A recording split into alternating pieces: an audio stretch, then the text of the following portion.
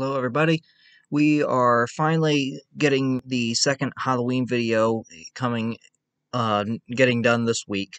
So I wanted to go ahead get this online on Halloween. That way, it makes a little more sense.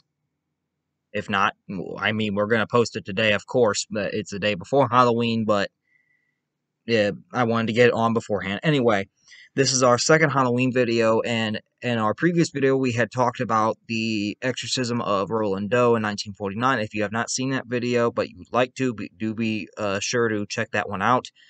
Um, as for today, for our second video, it's a, just a little more generic. It's not so frightening. It is more just a basic history rundown of one thing that a lot of people really don't know at all. And it's kind of surprising that we don't but it's also kind of funny that we don't because we celebrate the holiday every year. And today we're just going to simply go over what the history of the Halloween holiday is because many people don't actually know what started Halloween, where it comes from, how long has it been celebrated, or where did certain traditions come from that we do on it. A lot of people actually don't know the real history. It's not like Christmas where most people know the story of baby Jesus being born on that day or the 4th of July, where we know, oh, that's America declared independence.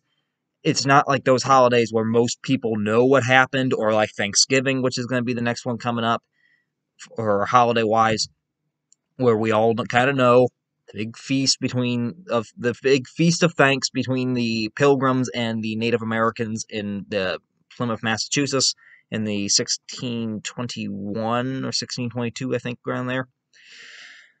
And Anyway, most people know them. They know that backstory, but they really don't know nothing about Halloween. So for this final Halloween video, we're just going to simply kind of look over what, where does Halloween come from, what the history, where the traditions come from, everything like that. So this is not going to be a very, this shouldn't be a scary video. This is simply a video of basically telling why do we even have this day? Where does it come from? Why do we why do we trick or treat on this day? Why are we scared of black cats? Why is Halloween so much associated with the dead and the ghosts? Why do we have jack o' lanterns?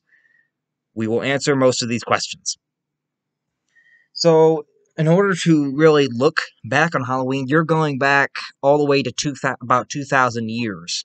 Yes, Halloween is this ancient, people. It is that old. However, 2,000 years ago, of course, it was not actually called Halloween. It, the name has gradually evolved over time, but the essential festival on the uh, but one thing has never changed, and that one thing that's never changed it is typically always been celebrated on October 31st of any given year of any civilization's calendar. So that is the one constant. October 31st has constantly usually been the date of this festival. It's just over time the name has gradually changed to what we now know as Halloween. So, as I mentioned, we gotta go back 2,000 years to really understand where Halloween comes from, and the earliest evidence of a festival of any type or celebration on October 31st comes from the ancient Celts. Now, the Celts were a tribal people. They were a tribal ancient people that used to live in well, they actually they are still alive. Their descendants are actually still here, but there are still Celtic peoples, and predominantly most of the remaining most of the remaining Celtics on the planet are actually in Ireland. Most of if you're Irish, you're probably or if you're part Irish or anything, you're probably part Celtic. At some point, you are probably got some Celtic blood. Now, the Celtics, or the Celts, as we'll call them, 2,000 years ago, eh, they were here too. They were an ancient people that are still around, although they have evolved or changed over time, adapted to changing environments. But anyway, 2,000 years ago, the Celts mainly lived in northern, what is now northern France, in the United Kingdom, which is Scotland, Wales, England, or you can just say Great Britain, or and most uh, predominantly they were the dominant uh, people in the island of Ireland and today they are still the dominant people in Ireland. So a lot of Irish traditions come from the Celts. Like, for example, they're the ones that invented the banshee. And I shouldn't say invented because who knows? They, they could be real. I'm not a big, massive person on Irish folklore, but I know about the banshee. And I know that is Irish in origin. But anyway, the Celts are really the first ones to have any sort of celebration on this particular date of October 31st, and this was 2,000 years ago. This was before even the Roman Empire. The Celts celebrated a festival that they called Samhain. Now I'm gonna I'm gonna just tell you right here, and in fact I'm I'm gonna write this down. You want to know how odd the Celtic language is at times, people? Right, let me show you. Because I'm not kidding you, it is one of the oddest things I've seen everywhere I've looked, this is how they uh, spell it. This is how they spell Samhain. S A M H A I N. Now, I'm not making fun of a language here, but that is like, unless you actually look some of this stuff up, you will not know how to pronounce any of this because I was like calling it Samhain or something like that. I would have assumed that the H and the M were used, and no, I had to look up the pronunciation, and no, it says Samhain. They like entirely ignore the M and the H, and I think the A. So basically, you could do rid of the two A's and the MH. I don't get it. But anyway, that's how they spell it, and then it took me a while to actually figure out how to say that. So I had to look it up, and apparently you pronounce it as Samhain. But anyway, that aside, Samhain is this festival that the ancient Celts would celebrate on October 31st, roughly 2,000 years ago. And they celebrate it on 30 on the 31st because this was the last day of their calendar. The Celts had their own calendar, and their new year, instead of nowadays, of course, when we think of the new year, unless you're from China or Asia, you probably are think, or maybe even Russia, I think, but if you're in the Western culture, Western Europe, North America, anything like that, I'm going to guarantee you that your new year probably starts on January 1st, and December 31st is the last day of the old year. Well, the Celts had a calendar too, but their new year was November 1st, not January 1st. Their New Year's would start on November 1st was the first day of the year, October 31st was the last day of the year. They still had the other months, it's just they switched it around.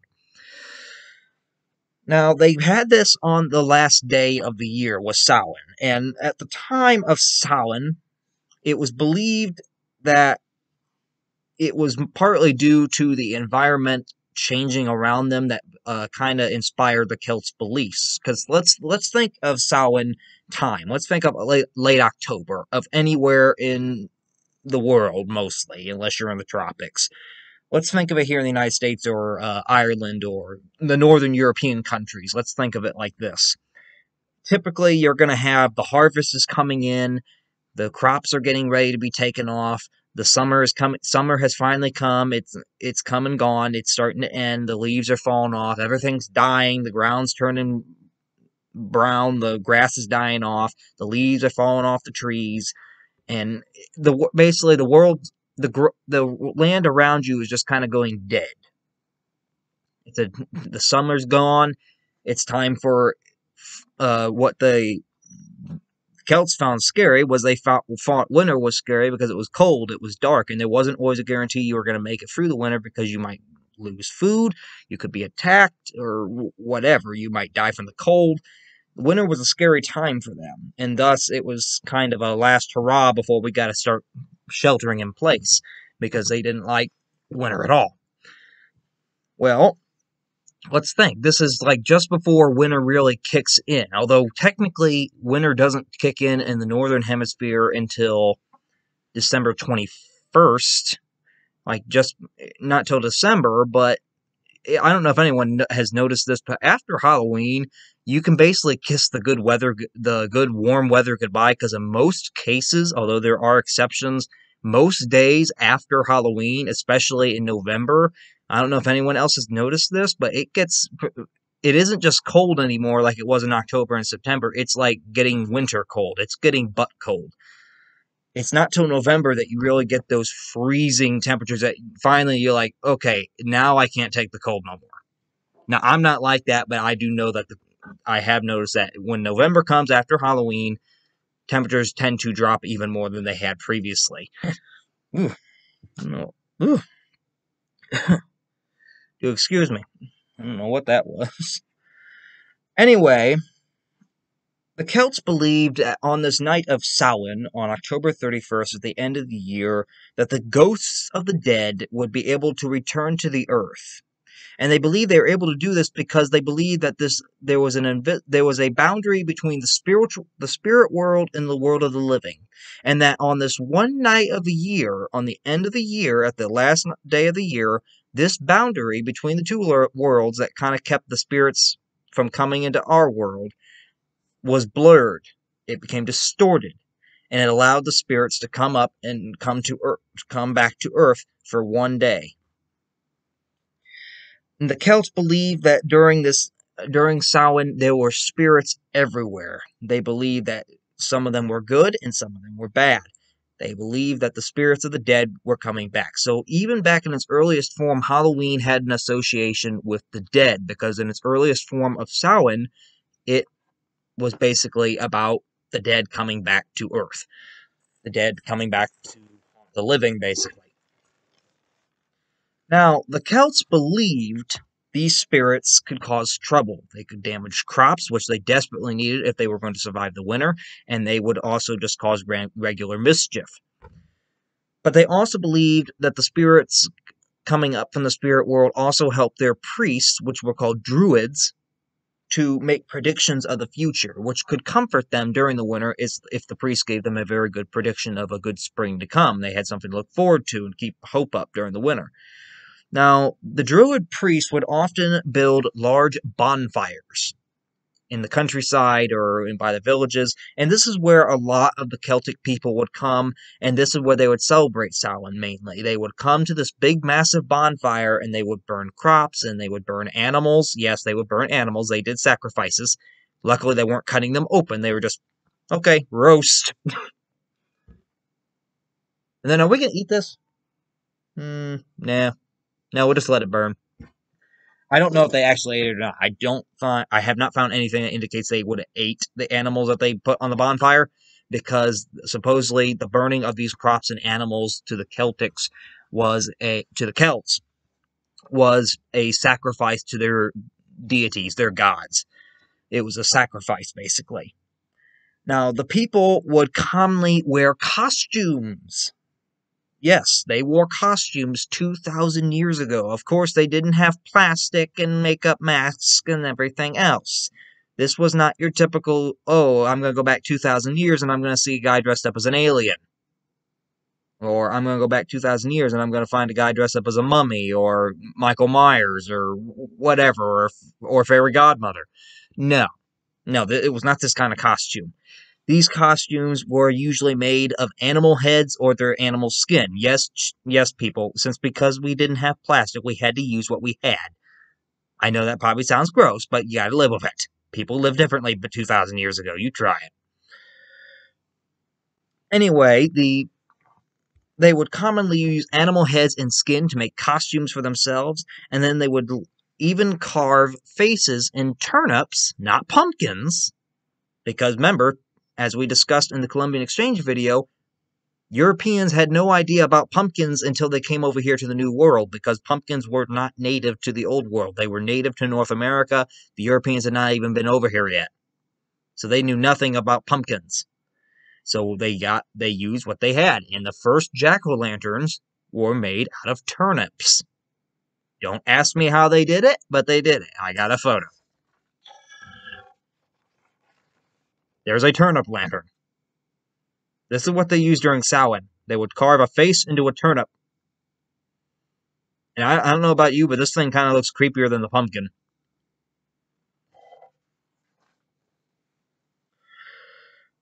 But anyway, they would do they would carve faces in these turnips and then light them from the inside like a turnip lantern.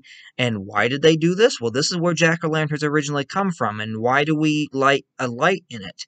Well, the Celts believed that by lighting this, by carving a face into a turnip and then lighting it, it might it might scare the spirits off, any evil spirits. It might scare them away, basically demons. So, if you got a jack o' lantern in your house that looks like this, odds are it probably looks like this one, even though this is fake. This is just a little decoration, but anyway, this is a modern jack o' lantern. That's supposedly to scare evil spirits out, out of your house or away from you or whatever. It's to ward evil away. What about this would scare a demon? I don't know. This don't even terrify me. No, I'm not terrified of you.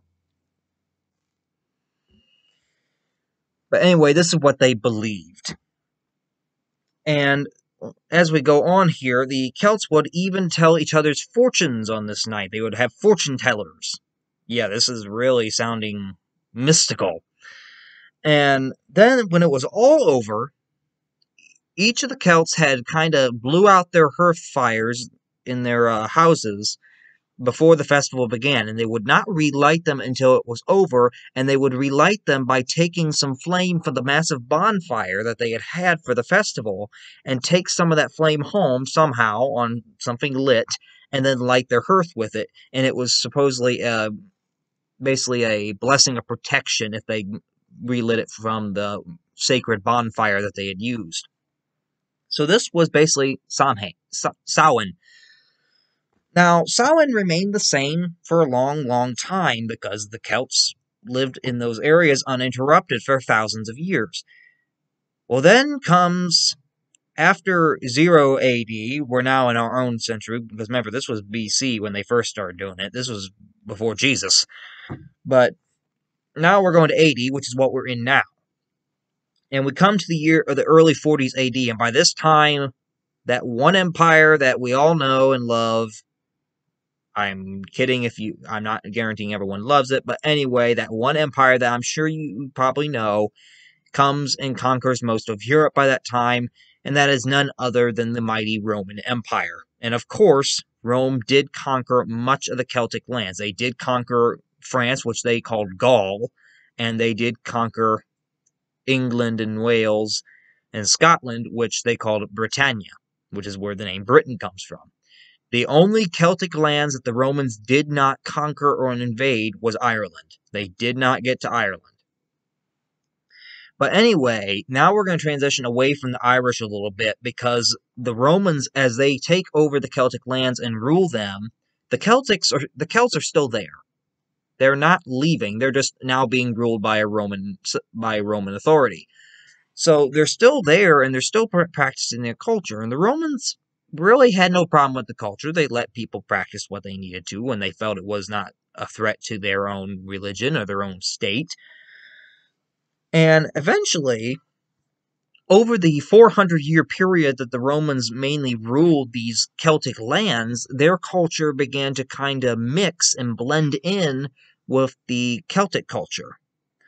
During the Roman times, there were two new festivals that began to occur in late October, not specifically on October 31st, but just in late October, that were kind of created by combining Roman festival traditions along with the ancient Celt, Celtic Samhain tradition. Basically had their own little versions of Halloween. The first one in late October was called Feralia. And Feralia was a day of which the dead were basically commemorate. It was a day to commemorate the passing of the dead of their death. So again, another holiday associated with death. And then this festival was to honor the goddess Pomona, which she was the goddess of fruits and trees, and this was often celebrated by you would go visit a tree or uh, fruit tree or something like that, or you would um, burn or eat fruit. Anyway, this is where one important uh, tradition in Halloween comes from, and Pomona's symbol was the apple. Well, I don't know if anyone does this much anymore because I have never seen it personally. I've seen it in movies and stuff like that. But a common Halloween tradition that used to be, I don't know if it still is relevant, was bobbing for apples. Well, this is likely, it is believed that this Roman festival of Feralia in late October was likely the very the place where bobbing for apples originated for Halloween. It was probably where this tradition came from. So Feralia is roughly 2,000 years old. So that makes apple bobbing 2,000 years old. The Romans also had another festival that they would celebrate, but it was not as much as Feralia, and it mostly was just again respecting the dead festival. Like it was so insignificant that we really don't have that much info on it. But anyway, that's what happens with Rome. They combine a little bit of their festivities with that of the Celtic Samhain, and they kind of develop their own little version. So here we are moving through time, and there's still a typical celebration on that day. Well, here's when we're going to get, as we go forward here from now on, we're going to get to the point where Halloween actually begins to kind of more develop into a semi recognizable day.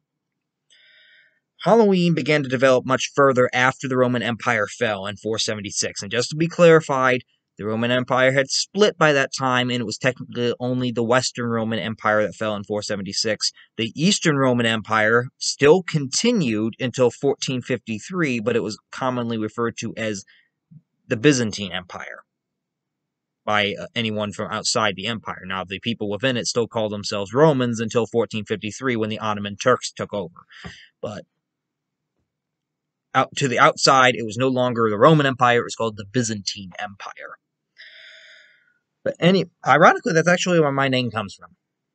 I found that I went out pretty distinctly. But anyway, with the spread of Christianity through Europe, Christianity becomes a major influencing factor in how Halloween kind of becomes uh, celebrated in the future as after the Roman Empire fell, but actually it really started during the last century of the Roman Empire's existence, the Western one, because the Emperor Constantine had officially legalized Christianity and made it the official religion of the empire, instead got rid of all the Roman goddesses, gods and goddesses, and replaced it with Christianity.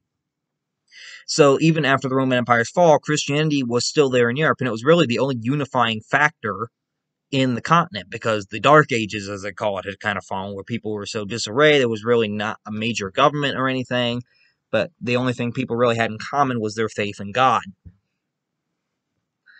Now, with the spread of Christianity throughout Europe, the ancient Celtic rites and rituals, such as Samhain, they gradually become blended a little bit with Christianity as it kind of influences their culture.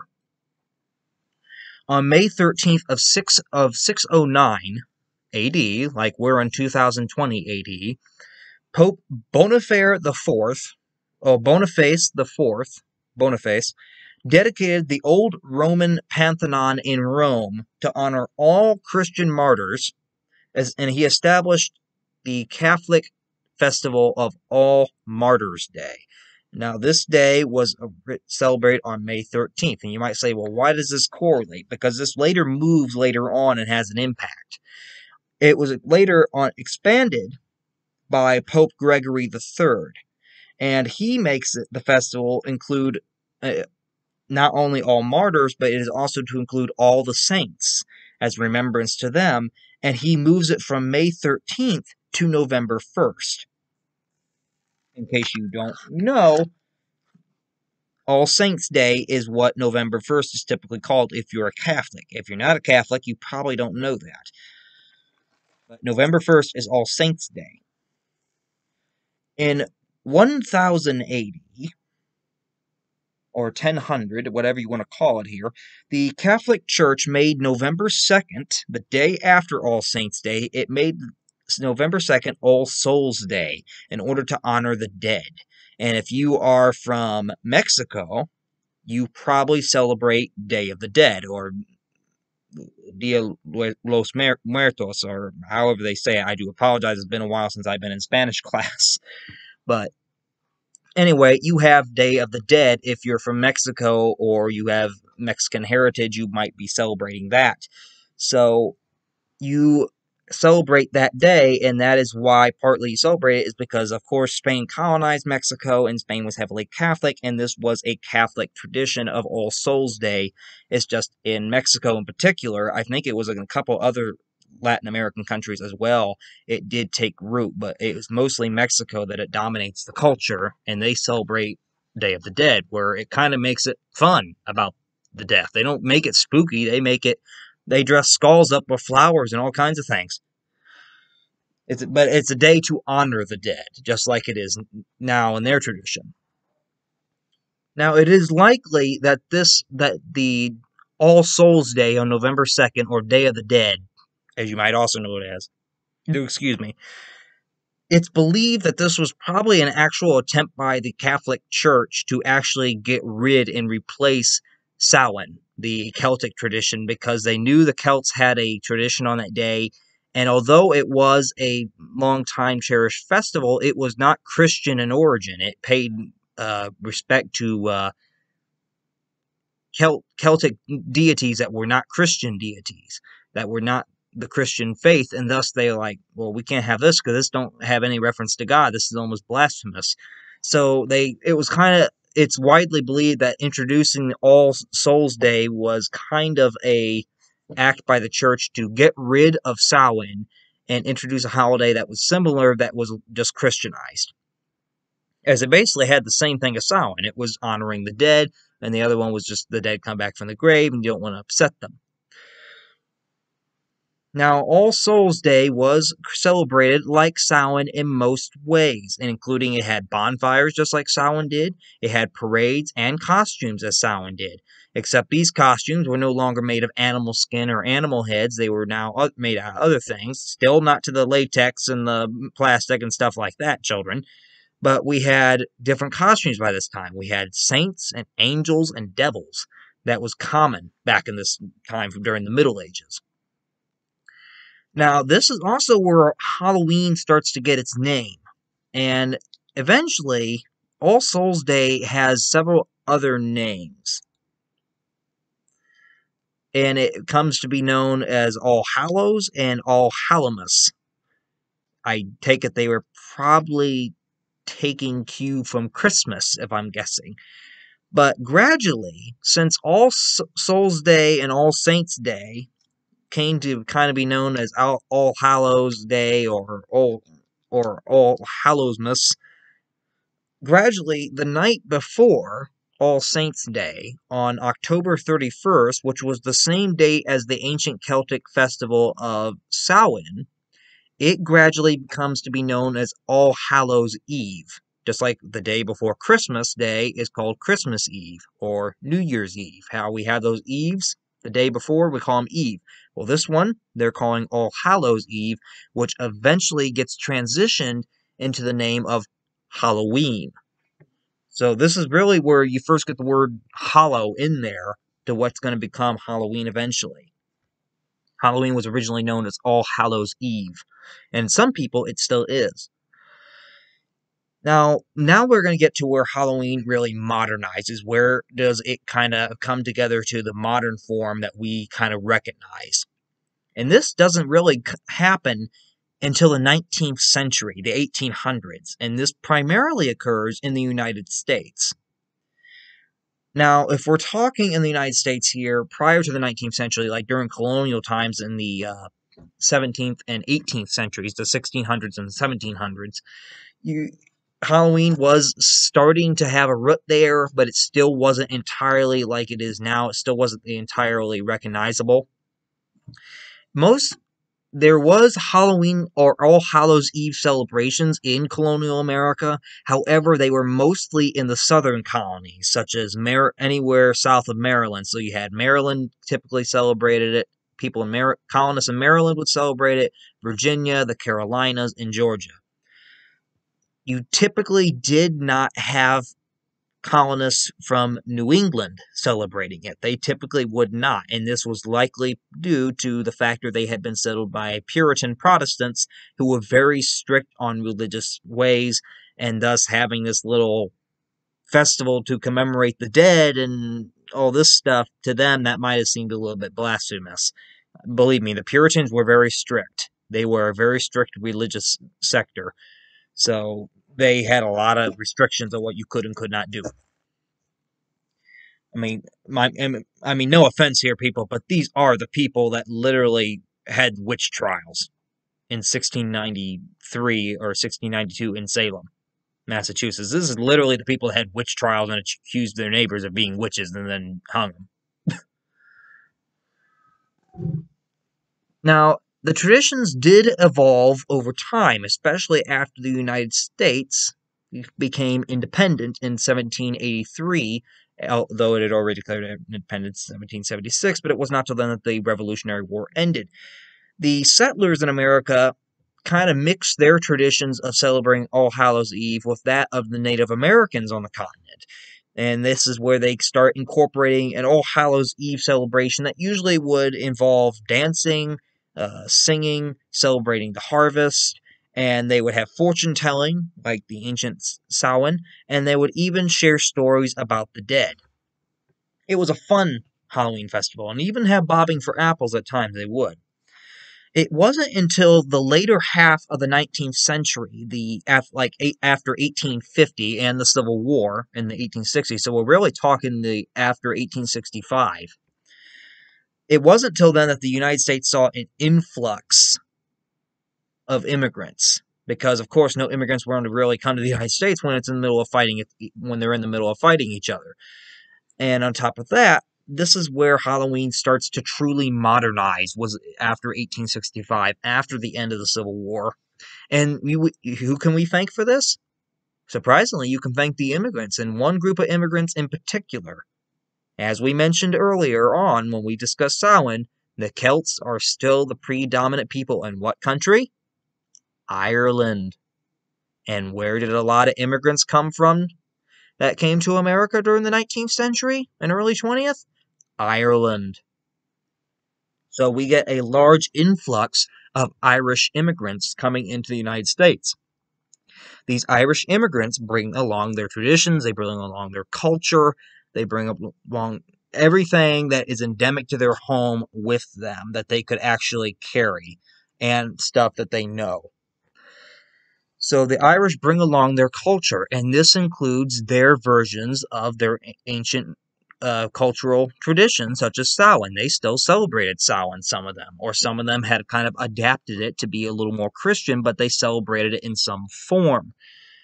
When they br- the Irish immigrants were the ones who brought the Samhain traditions over here to the United States, and this eventually melded together with what was already here, the All Hallows Eve celebrations mixed together with the Samhain celebrations, and you kind of mix them up a little bit, and over time, they meld into this new kind of festivity that eventually becomes modern Halloween. Now, trick or treating was one of the final uh, Halloween parts to really evolve.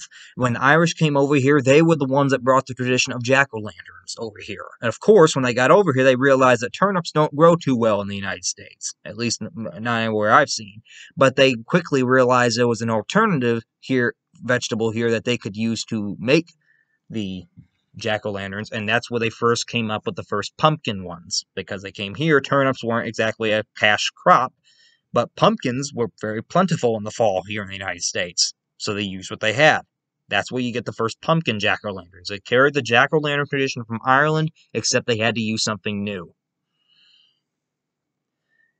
The ghosts never went away. They brought the ghost traditions with them, just as the Americans kind of had that ghosts were, or the dead, were able to come back on Halloween. Now, granted, they do not look like this person. I mean, this literally could be a person with a cloth over their head.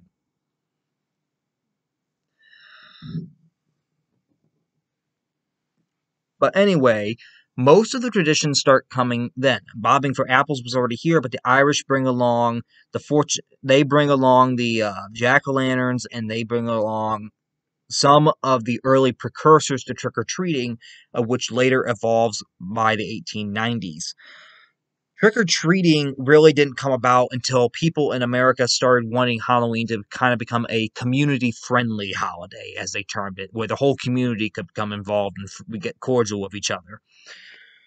Now, this desire was also kind of took, was able to be combined with old traditions that had already prior existed in Europe. And Europe on All Saints' Day, especially during the Middle Ages and the 1500s and 1400s, it was very common that All Saints' Day, they, the church or church officials would give out soul cakes to the families as a gift on that day to eat, which was like a religious little bread or something like that. And if like if you celebrate uh, Day of the Dead in Mexico, I believe they also have a kind of a sweet bread that they make on that day as well. That's uh, specific to that tradition. You also had neighbors that would go around back in the old days, and they were not afraid to go around and ask for food, ask for money, like pennies or something like that. Or if you didn't, they would pray. They would play a prank on you. If they basically said either give me a treat or I'm going to play a trick or a prank on you. So the concept of trick or treating comes about as a old continue as a continuation of these old ways, except now people are giving the children treats by having the children dress up just like they did. The Irish brought the costume tradition over to the Americas. So now children are starting to dress up on this day as whatever they can, and when they go around to houses, they go around asking for treats or something like that, and people start kind of realizing, well, we can pitch in here because we can kind of become more friendly with other members of the community by helping just kind of give treats out to people. And of course, some kids threatened that if they didn't get a treat, they were going to trick the adults or play a prank on them. So the trick or treat was like a compromise. You give them a treat, maybe they won't go ahead and do something to your house. Which back in those days, I don't think they had paintballs. So back in those days, they might do something very bad to your house. Now, with the successful conversion of Halloween into a commercial community holiday, parties didn't really be, was kind of the last big tradition to develop, and Halloween parties really didn't start coming on with great frequency until the 1920s. It wasn't until then that Halloween had finally grown to the popularity enough and grown to enough of commercial success that people were willing to have a big party on that day to celebrate it.